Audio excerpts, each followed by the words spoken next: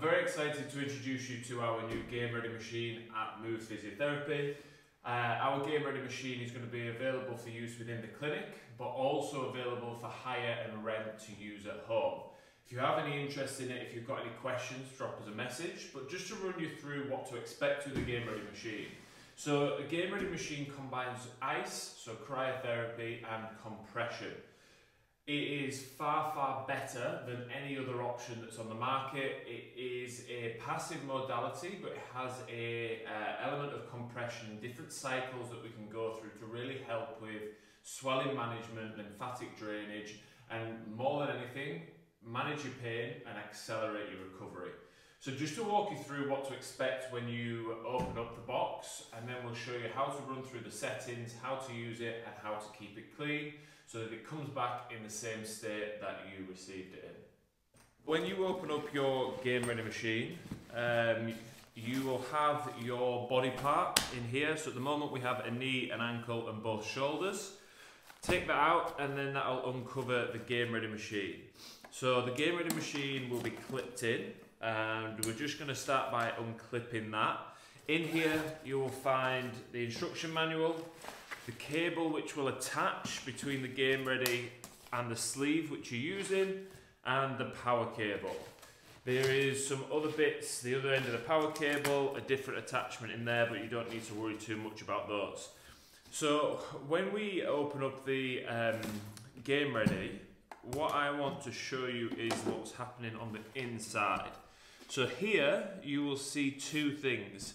On the right, as you look in, you'll see a small blue line, and that'll have number one. So that's the amount of water we want to fill up to in that line. Then the second one you will see is the ice. So ideally we will use ice cubes or crushed ice, but we appreciate that that can be difficult in terms of reusing. That will be much more effective for your recovery.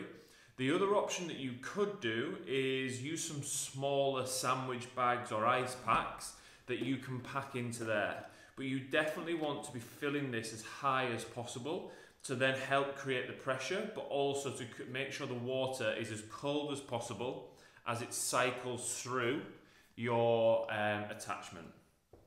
As you'll see, I've already plugged the power cord in. I'm then going to take the bigger of the two ends of the distribution cord of the water and I'm going to plug that in to this socket here and it just needs to go in with a click. You unclip it using the red button. So I'm going to pop that in. At the other end, I'm going to attach this. Now what I would suggest is that you put the garment or the attachment on first. Obviously wrap it round, lock it off with a Velcro and then attach this onto there. That should then, everything should be ready and preloaded, ready to go hit the power button, so I'll just turn off quickly and turn back on. And everything will turn on as you see it. It will restart this point every single time. So what we have is the target temperature here. We have the, the run time and we have the pressure up here. So I've always would always recommend, especially acutely post surgery, that we want to get this on sort of once every 60 to 90 minutes for 20 minutes. So with these buttons here, I just hit plus, that takes me to 20 minutes. I would again always encourage people to aim to start at the coldest point possible, but please don't push through any pain. If there's any signs of uh, a cold burn, anything like that, just bring this up, speak to us, let us know. But I've never known anybody have a problem starting here. But if that is you, please don't feel that you have to push into that. The next thing that I will always set is the pressure. And again, I would always recommend that someone starts at high. But remember, if you're in too much pain from the pressure, just drop it down. You can just start with the pressure off and just use the icing feature and build up through that. But I would always recommend we start on there and then we scale back based on how we feel. From there, we can just press play. You'll hear everything turn on. We haven't got any water in at the moment. You'll feel things filling up and then the cycle will just run. The other options that you may have, and I would encourage you to read the manual around this. So if I just reset this and start again, you can run different programs. and what you'll see here is program one is if you're bedbound or if you're laid up on the sofa, you may not want to keep getting up and turning it off and on, off and on. While this stays cold, you could set the um, program as a 30 minutes on, a 30 minutes off. Then we can adjust the pressure as we cycle through, but at the same time, that run time and sleep time is changing. Have a play around with it. If there's any questions, let us know. But like I say, the main thing that I would say is a 20 minute run time with medium to high pressure, with your um, with the setting as cold as possible. And if there's any problems, any questions, please give us a ring. One of the most important things is the shutting down of the game ready. So obviously we want to press the off button and have everything turned off.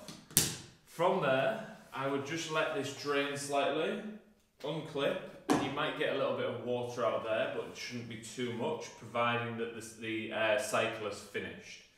The big big thing that I want to really stress to you is emptying this, we don't want any stagnant water in there. But more than anything is when you've taken the attachment off with a towel or something I want you to dry the attachment and I want it laying over something to dry. Please do not take it off, fold it back up and hold it there. One of the things that can happen with the Game Ready uh, attachments is that it can start going mouldy and unfortunately because of the cost of things we will have to take action if that if the uh, garment comes back in any uh, unfit state or a state that it hasn't arrived in. So yeah, if you can dry it off, hang it to dry in between uses, uh, particularly overnight, That'd be absolutely awesome. Try not to just shove everything back in that box and humidity increase. Um, but yeah, any questions, any issues, let us know. And good luck with your recovery.